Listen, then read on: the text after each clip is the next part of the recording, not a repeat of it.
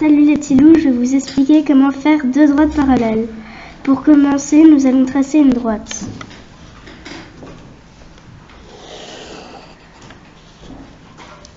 Ensuite, nous allons tracer deux segments perpendiculaires comme ceci.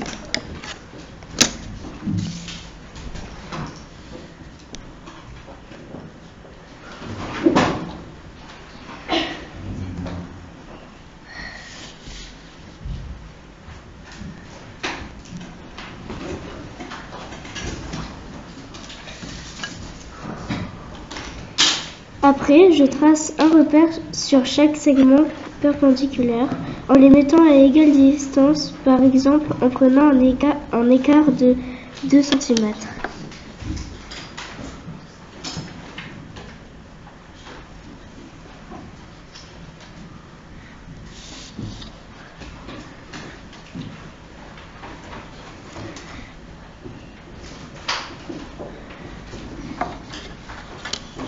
Ensuite, je relie nos deux, repères, pour faire une deuxième droite parallèle à la première.